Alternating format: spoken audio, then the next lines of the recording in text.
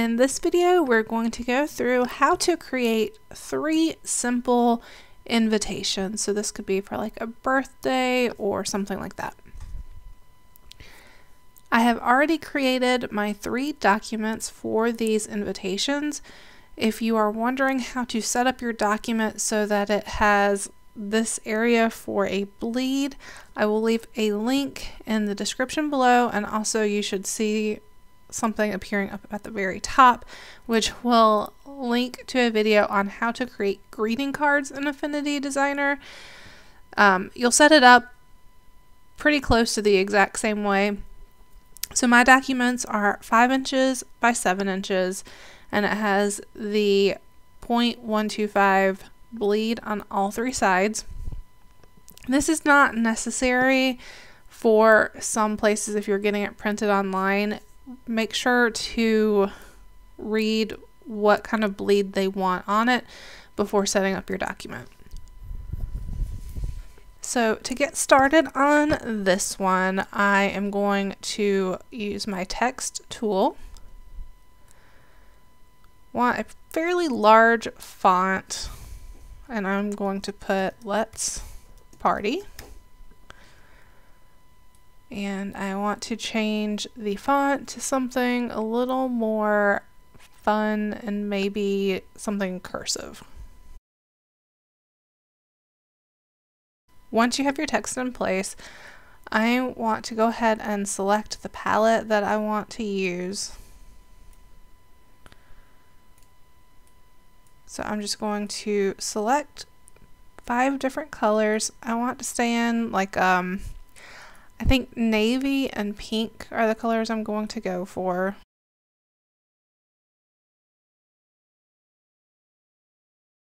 Okay, so I changed my text to that navy color. And now I just want to go in and add some polka dots around this very top and then around the bottom. So one color at a time, I have the navy selected and I'm going to use the ellipse tool. And I'm just going to go ahead and put some dots in here. Make sure you put some over the bleed. And just because the text is the navy already I don't want to put in too much of the navy. And my color palette is kind of getting in the way right now so I'm just going to move that up and then switch to a different color. I'm going to go for that darker pink. Switch again, I'm going to do the cream color and then the lighter pink. And I'm actually going to go in, maybe overlap some of these.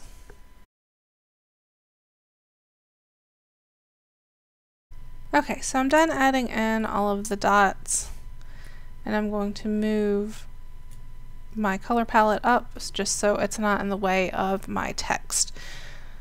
And the next thing I want in that same exact font do like if it's for a birthday party I'm going to add in how old the person is turning So now that I have the two main text pieces in the invitation, I want to go in and add the other information like time and location and a phone number to send the regrets to. So I am using a sans serif font so it looks nice and clean and it isn't taking away from the two main fonts that are cursive, so they will work well together and it'll balance everything out.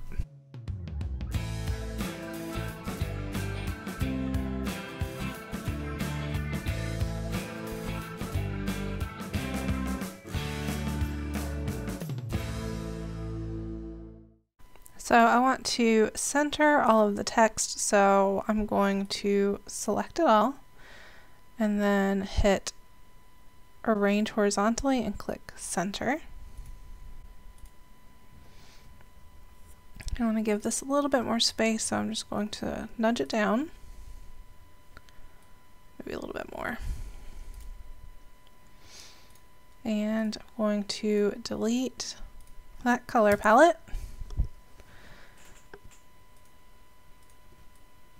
And to bring actually all of the text up. And there is the first very simple invitation. So moving on to the second one, I'm going to grab the rectangle tool and I'm going to make a rectangle that is larger than the artboard. Don't worry about the colors just yet. Grab your move tool or hit V on your keyboard. Holding option or alt, click and drag down. I hold shift so that it stays in place and you will see that it has duplicated your last object. Now all you have to do is hit Command J, see that it is duplicating that stripe for you. So you can choose to either leave it at a horizontal stripe or you can go through and grab all of these rectangles and I'm just going to rotate them and then I'm going to enlarge just so that my entire artboard is covered by the stripes. And you can choose to leave your stripes all the same color. I want to go in and do every other stripe and I'm going to lighten those. Actually, no, I think I'm going to darken them slightly. Okay, so once again, select all of your rectangles by using your layers panel and then I'm going to hit command and G to group them.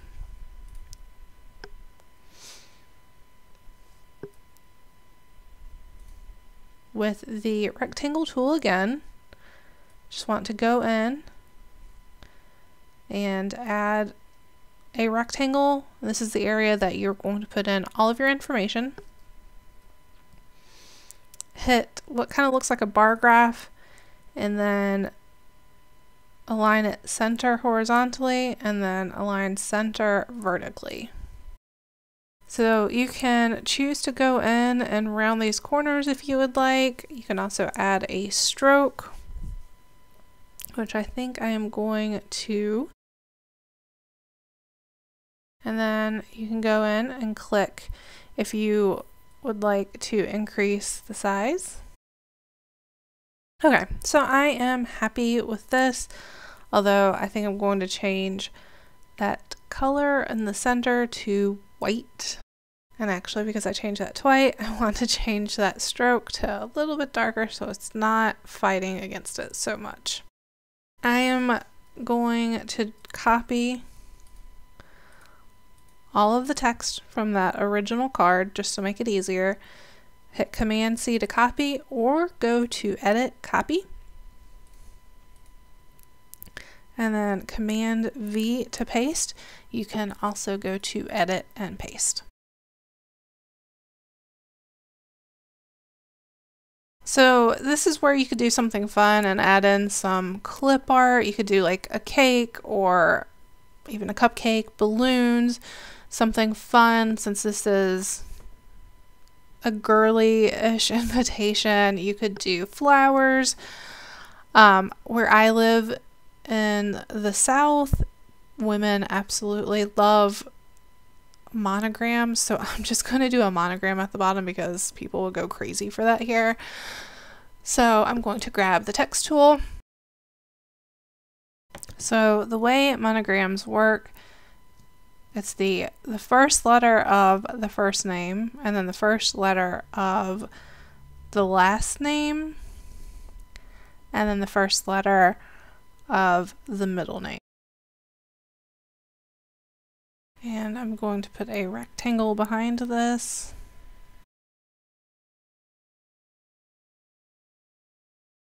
So this is the second invitation like I said, you could do any kind of graphic down here, balloons, flowers, cakes, whatever fits the party the best. Like I said, I just did monograms because I live in the South and everybody loves monograms, so I thought, why not do something with that? This last invitation, we're going to do more of a graphic style as opposed to like the more traditional with the stripes and florals and dots. So this one would be really great if somebody likes ice cream. So grab your rectangle tool. And I like this cream color for that. And then I'm going to grab the ellipse tool. And I want this to be the same width as the bottom part of this. I'm going to zoom in because it's not meeting up exactly like I would like it to. Okay.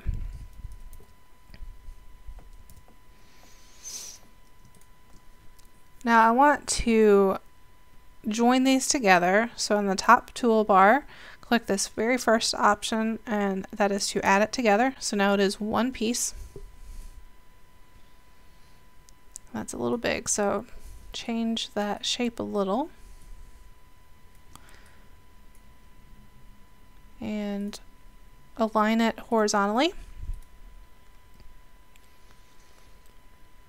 And I want this to be like a chocolate covered one, so grab the ellipse tool with the brown selected and just layer this on top of the ice cream bar. Now currently it is placed over the top of that cream color. If you click on it and then pull down, it is going to kind of create like a clipping mask and that's exactly what you want. So now I'm just going to continue with the ellipse tool and add on some sections so it looks like it's dripping. And you can see that these have not nested underneath that original one, so just bring them down again. And I am pretty happy with that. So actually I'm going to click on this arrow next to the ice cream bar Select all of those brown pieces and then join them all together. You will notice that the background is kind of hard to see, so I'm going to make a background in a different color. And I like that blue, I think it pops really well off of that. And now I want to use some ellipse tools to make it look like somebody has taken a bite out of this. One of the last things I want to do, I'm just going to grab the pen tool to create kind of the stick. And I want this to be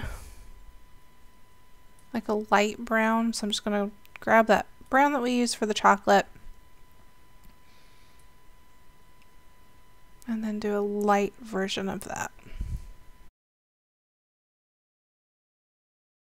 And you can go in and you can add some texture to this with using some of the brushes or even just like the pencil tool.